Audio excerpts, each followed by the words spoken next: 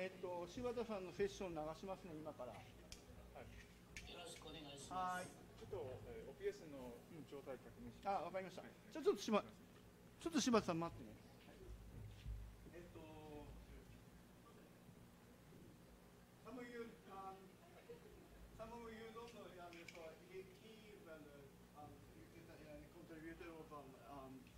And the Ubuntu committee. So,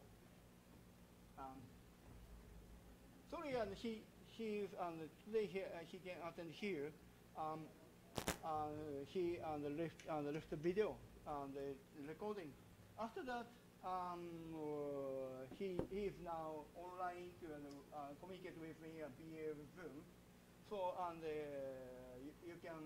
ask uh, question uh, about and uh, LXT things and uh, to him. じゃあ柴田さん流しますね。 ません。本当時間がえっとすみませんなんか柴田さん今回ありがとうございます。あのちなみに本当に日本語がわかる方いらっしゃるので日本語で話すと本当にあのえっともちろん台湾の方々日本語で質問できる人は日本語で質問してくれていいです。で彼がいるので中国語で質問してくれても OK です。であのここら辺はコミュニケートやりますので大丈夫です。これを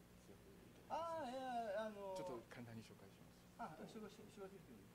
好，呃，欢迎来大家参加这个早上的 OSPN 合作轨哦。那如同刚刚大田先生讲的，我们这这一轨主要的语言会是英文，但是因为是日本讲者的关系，所以如果大家想要用中文或英文或日文提问都可以。那如果有大家双双方不懂的地方，就是我会负责翻译这样子。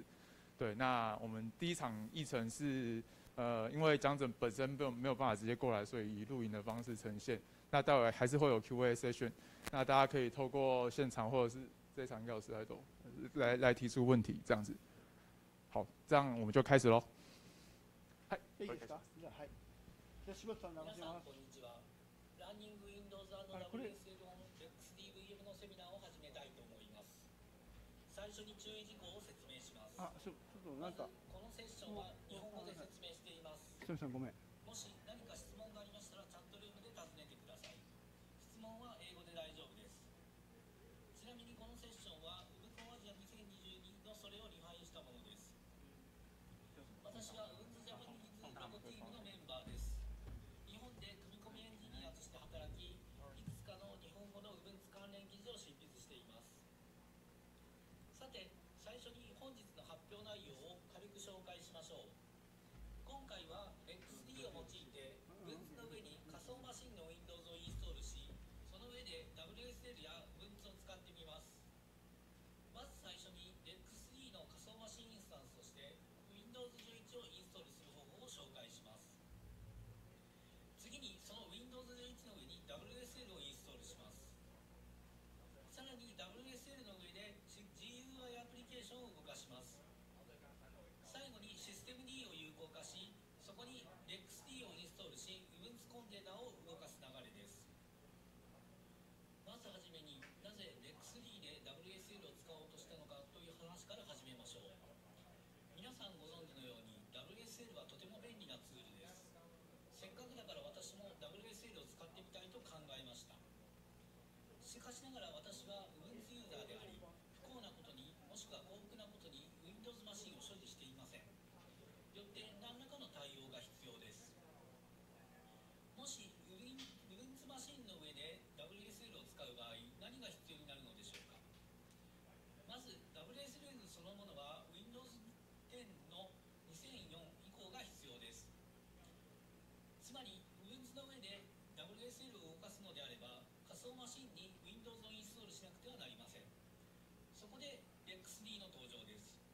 LexD を使えば Ubuntu の上に簡単に仮想マシンを構築できるものです。LexD はコンテナ管理システムではないのかと思う人もいるかもしれません。確かに LexD3.0 まではシステムコンテナのハイパーバイザーでした。しかしながら LexD4.0 からは仮想マシンの管理もできるようになったのです LexD の仮想マシン機能はバックエンドに QM を採用していますコンテナと同じように仮想マシンを管理できるのです。システムコンテナについても説明しておきましょうシステムコンテナはカーネル以外のシステム全体をコンテナで動かす方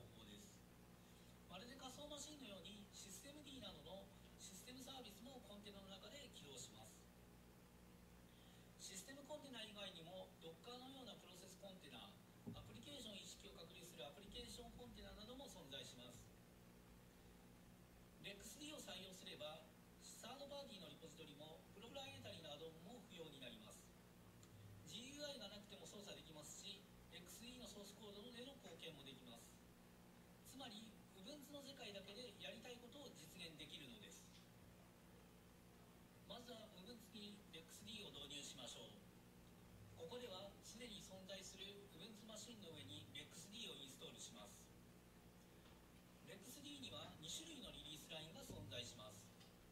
長期サポートの LTS リリースとおおよそ毎月リリースされるフィーチャーリリースです LTS が5年間サポートされるため最新機能が不要であれば LTS リリースがおすすめです LEXD はスナップパッケージとして提供されているのでどの Ubuntu でも任意のバージョンを選択できます Ubuntu デスクトップにインストールするのだけであれば次のコマンドでインストールできますなお LEXD を操作するためには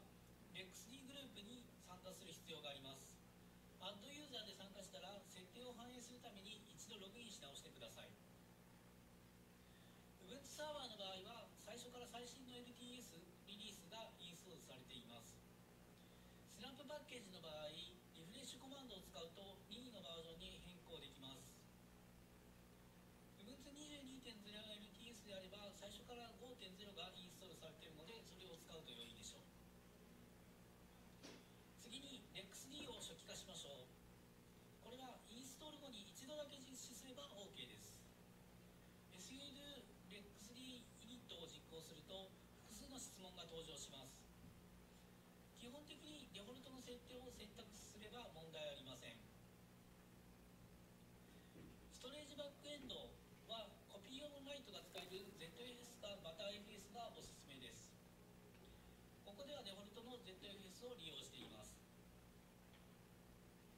さらにストレージについては初期値のサイズが小さい値になっているためサイズを変更しておきましょう。Windows をインストールするなら 100GB 以上は必要です。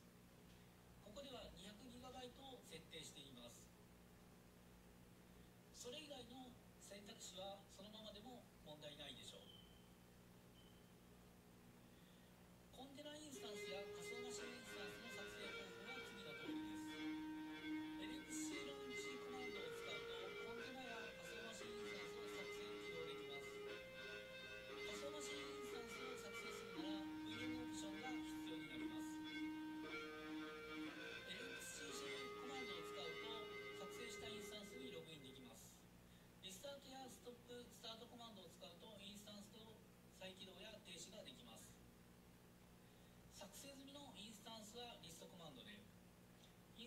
の削除はデリートコマンドで実現します。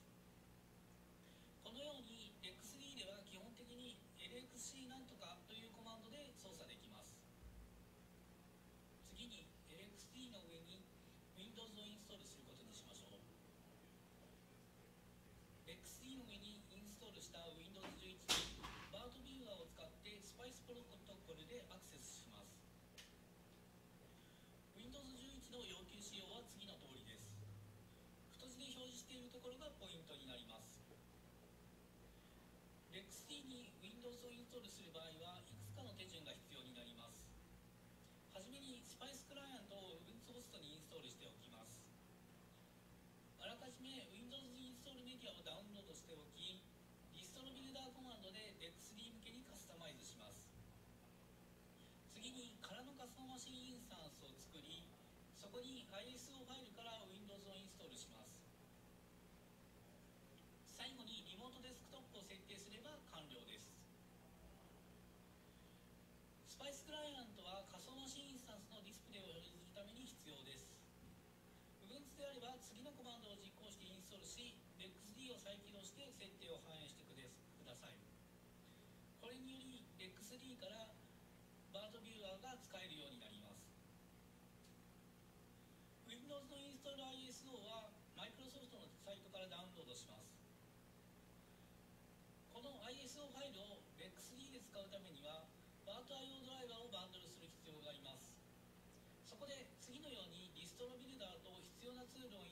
してコマンドを実行してください。これによりカスタマイズ版の ISO を作成できるのです。LEXD の仮想マシンインスタンスを作成しましょう。通常は LXC ローンチと LXC クリエイトでビルド済み v エンジからインスタンスを作成するのですが今回は LEXD イニットコマンドを使って空のインスタンスを作りそこから ISO を使ってイメージのインスタンスの名前は Win11 としておきます。LXC コンフィグコマンドで Win11 の CPU のコア数とメモリのサイズを設定しましょう。今回は2コアと 8GB とします。もっと大きくでも大丈夫です。次にストレージサイズとして 100GB を設定しますまた Windows 11は TPM が必要であるため VTPM を作成しておきますあとは起動デバイスとして先ほど作成した ISO ファイルを指定しましょうこれでインスタンスの準備は完了ですでは作成した Windows インスタンスを起動してみましょう LXC スタートを実行すればインスタンスが起動します。今回はインストール用に画面を表示しなくてはなりません。そこでコンソールオプションをつけることで先ほどインストールしたバートビューアーを起動しインスタンスのディスプレイを表示させています。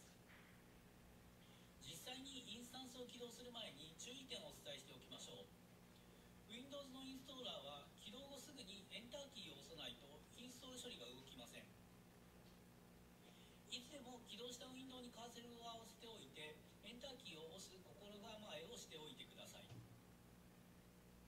失敗するとこの画像のようにピクシーブートが動いてしまいますその場合は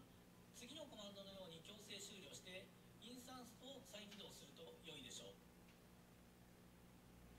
あとは普通の Windows のインストール手順となりますちなみに Windows がインストール中何度か再起動しますいつの間にかスパイスクライアントが消えてしまうようであれば次のコマンドでディスプレイを再度表示してください LXC コンソールを打つと既存のインスタンス起動済みのインスタンスにコンソールをアタッチさせますタイプ VGA を指定することでバートビューアーを起動しますインストール処理と初期化処理が完了したら Windows インスタンスの完成ですちなみにスパイスクライアントのままでも Windows を利用可能ですがリモートデスクトップにした方が何かと便利です Windows のプロエディションを使用しているのであれば RTP を有効化しましょうシステム設定のリモートデスクトップの項目にリモートデスクトップを有効化するスイッチがありますのでこれをオンにしてくださいまたリモートデスクトップにアクセスするためにはインスタンスの IP アドレスを知らないといけませんこれは Linux デスクトップの場合はアマヒで確認できるのですがもしあのサーバーにの LXC を使うのであればリストで IP アドレスが表示されますのでそれを元にアクセスすると良いでしょう。Windows 側のリモートデスクトップクライアントは Remina が最初からインストールされているのでそれの利用をお勧めします。リモートデスクトップを Remina で使う場合はユーザーネームとパスワードは Microsoft アカウントにしておく必要がありますこれは、まあ Windows 11からは Microsoft アカウントでインストールする場合は必要な対応ですあとは品質をベストにするとかトグルダイナミックレゾリューションアップデートをオンにしておくなどをしておくと便利になります次は Windows 11に WSL をインストールしましょう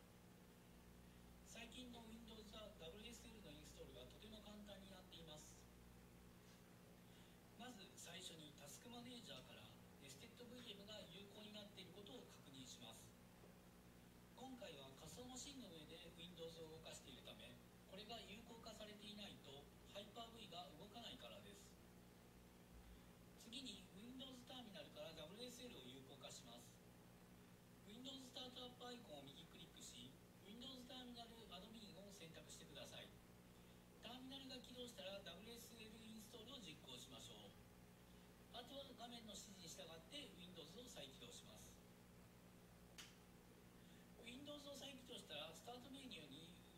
Windows が登録されているのでそれを起動しましょう。これで WSL の準備は完了です。ただしこの WSL インスタンスは Ubuntu 20.01LTS です。せっかくだから最新の Ubuntu 22.04LTS を使いたいですよね。22.04をインストールしたければ Windows ターミナルから今度は -d Ubuntu 22.04オプションをつけてください。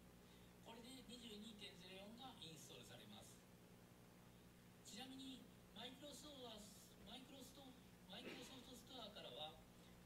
Ubuntu プレビューもインストールできますこれは開発版の Ubuntu で現在は Mantic がインストールされますマイクロソフトストアからサポート済みの Ubuntu を検索してインストールできます複数の Ubuntu が表示されます。この中から Ubuntu 22.0LTS を選択してインストールボタンを押すだけです。LTS 版は CLI のセットアップウィザードが起動してユーザー名とパスワードを設定できます Windows 11のプレビュー版 Windows 11のプレビュー版をインストールすると GUI インストーラーが起動します GUI インストーラーは通常の Ubuntu のインストーラーと同じくフラッターで作られています。WSL を使うなら WSL の標準ターミナルではなく Windows ターミナルを起動することをお勧めします。この辺りはさまざまなノウハウがインターネットに存在するので詳しい説明はスキップします。WSL だけでも便利なのですがここではさらに便利な機能も使ってみましょう。まず最初に WSL の上で GUI アプリケーションを動かせる WSLG についてですこれは WSL インスタンスの中のウェイランドコンポジッターである Weston を動かし Windows から RDP で接続し表示する仕組みです X11 のアプリケーションも動かせますしパルスオーディオを利用して音声も流せます Windows 11では最初から WSLG を利用できますでは WSL 上でどのような GUI アプリケーションを試してみると良いでしょうかまず Ubuntu にインストールできる必要があり世界中で使われていてかつ Windows のユーザーも使ってみたいと思うアプリケーションは何でしょうそう Microsoft Edge ですねというわけで WSLG の上に Microsoft Edge をインストールしますインストール方法は Ubuntu にインストールするそれと同じですマイクロソフトのアプトリポジトリを追加してアプトコマンドでインストールできます WSLG 上の GUI アプリケーションは自動的に Windows のスタートメニューにも追加されますここでは Microsoft Edge Ubuntu 22.04と表示されています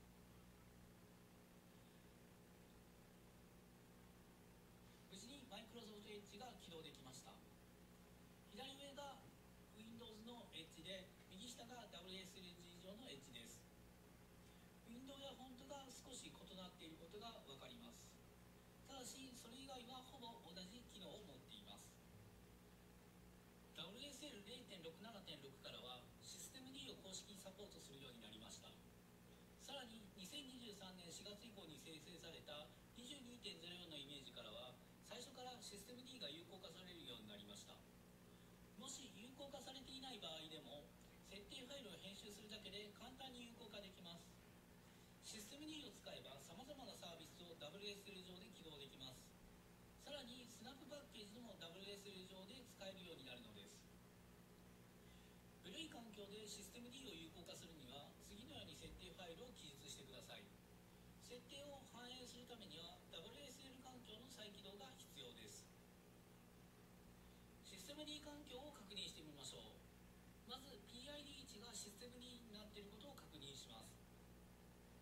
さらにシステム D アナライズを実行するとさまざまなサービスが起動していることがわかりますここでポイントなのがシススナップ D も起動していることです。これによりスナップパッケージも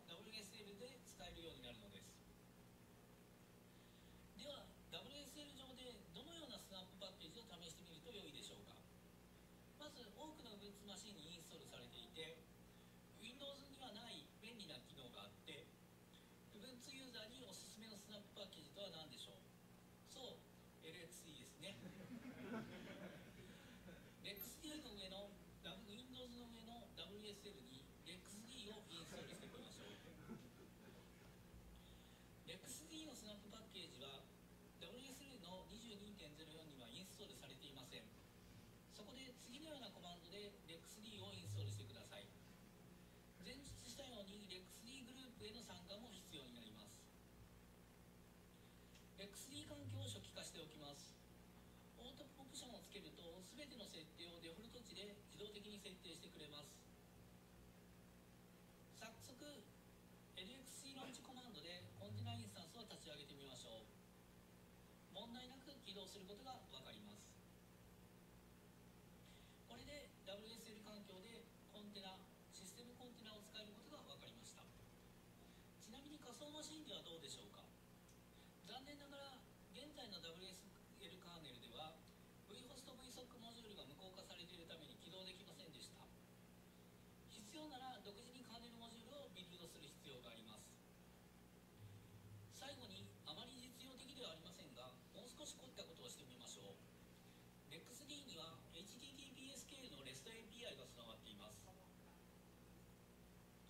AI を使うと他のマシンにある REXD も操作できるので。ところで本日の発表は REXD を活用したものでした。Web のホストにも WSL にもそれぞれ REXD が存在します。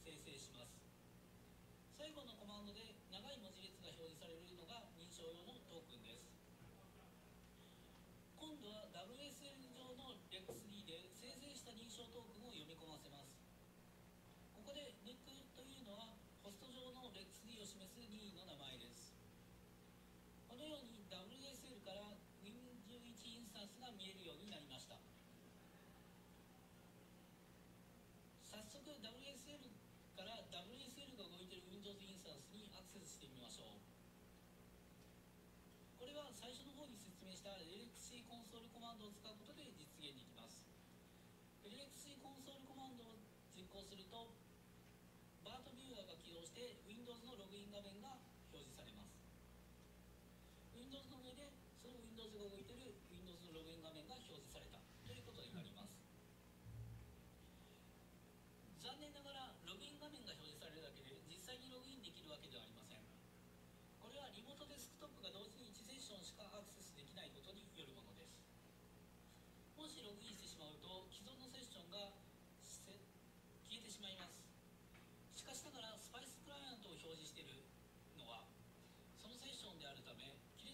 もう何も操作できなくなってしまうのです。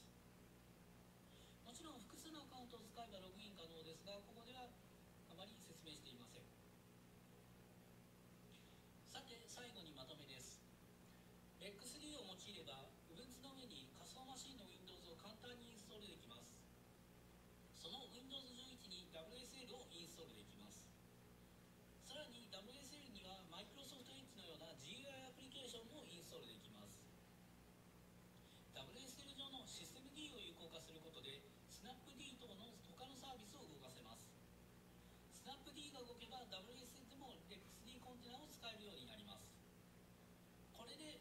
況でも REXD を活用できることが分かりました。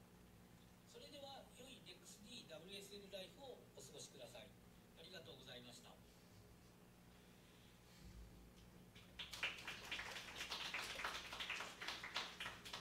いやありがとう。こんにちは、ランニング Windows&WSL オン XDVM のあのありがとうございました。柴田さんちょっと待ってくださいね。えー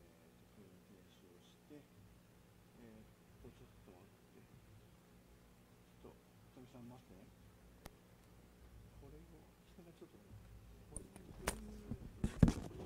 あれを持ってきてみる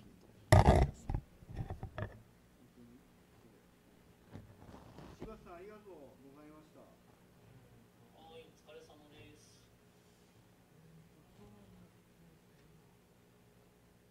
あ多分これをね持っていかない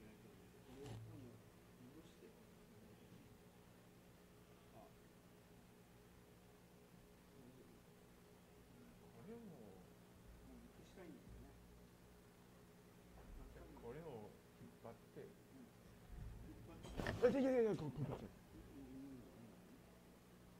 あごめんなさい。ちょっと待って質問あの質問受け付けますし um, if you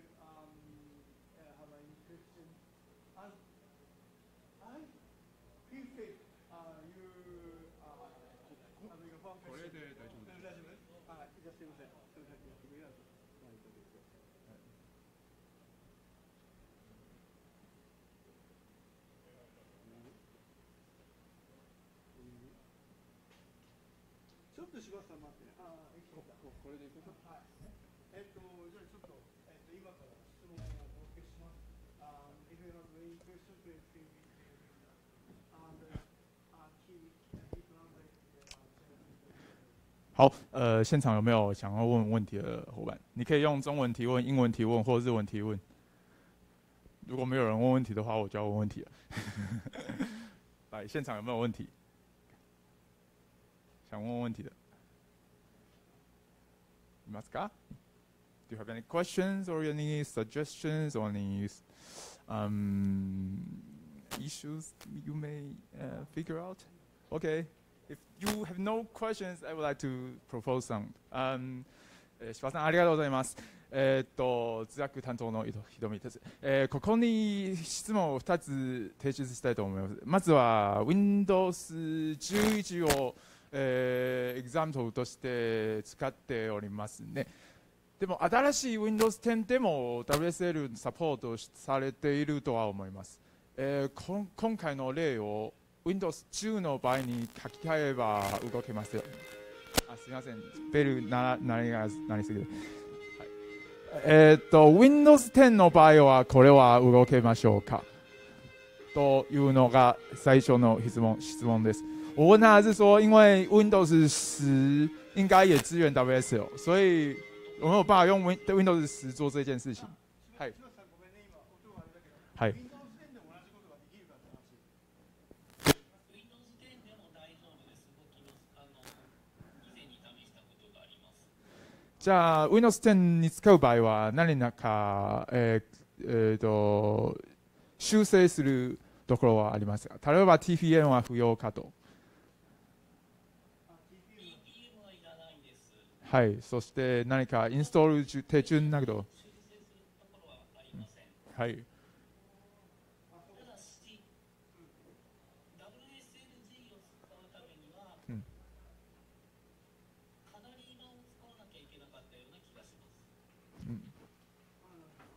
わか。りました。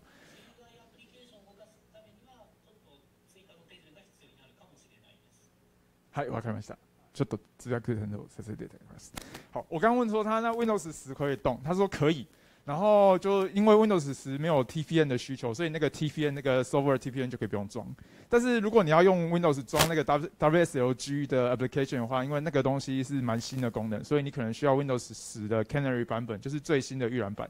对，那个如果你是拿一般的现在的基本版的 Windows 十，就是你那个自动更新会装到那个可能不支援这样子。好，这是我的第一个问题。啊，第二个問題我就想問笑呢，他這樣套話不會。じゃあ、えー、2つ目の質問はパフォーマンスについてですね。こういうなんか壮絶なマトロシカみたいなものが があががが言ってもこのパフォーマンスについてはなん、ね、どうなりましょうか。はい、ちょっと気になっています。はい。これだけやったらどうなるんだろうね、パフォーマンス。柴田さん、測ったことあるはい。正確な計測はしていないです。はい。で、動かしたマシンが、はい。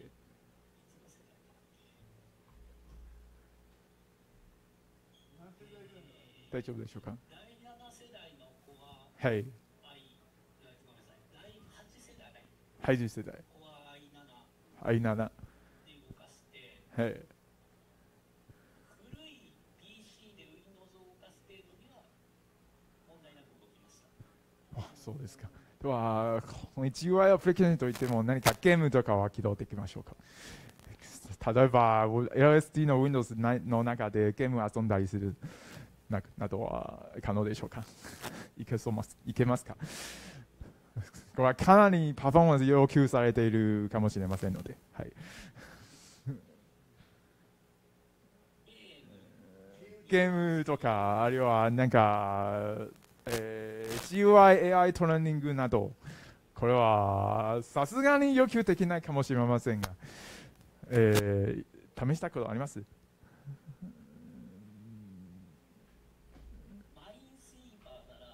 マイスイーパーはいわかりました。はいじゃあみん。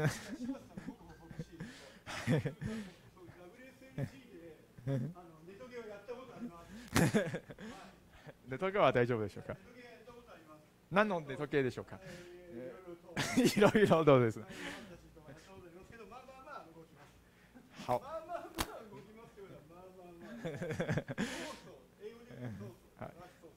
嗨，我看一下。哎，我刚问他说，那所以他这样套啊，那个效能会怎样？他说他也不知道，但是总之他拿第八世代的 i 七，然后跑这样子这一套是可以跑得起来的。那我就问他说：“那你有没有玩过游戏？”他说：“大概踩地也可以玩吧。”对你，大家可以试试看，这样装起来之后，然后去玩一些更需要视窗资源的游戏，看是不是是不是可以动。我觉得可能有一点挑战性。对，对。那现场还有没有什么其他问题？ゲームに何か他のご質問はないでしょ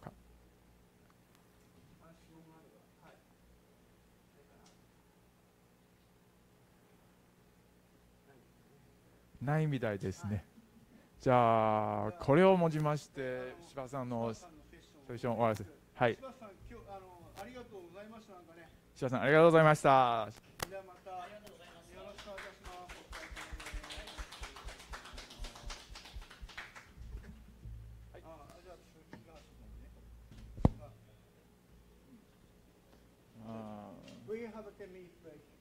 はい。现在休息十分钟，那接下来我们议程在下一场议程在十分钟之后开始。